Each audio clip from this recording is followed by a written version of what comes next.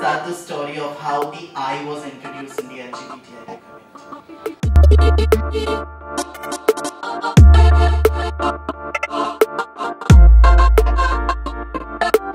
This was the first time I had taken charge.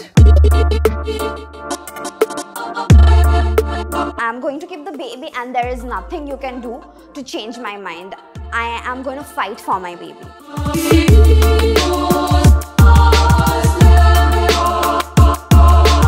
It's very important for people to understand someone else's reality and see them for who they really are. Men act and women appear.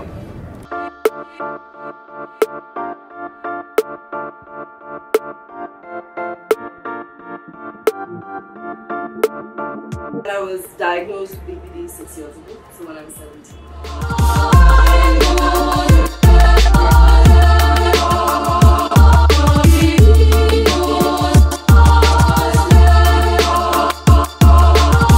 जब मुझे मेरे माँ बाप ने नहीं अपनाया तो इस समाज क्या अपनाया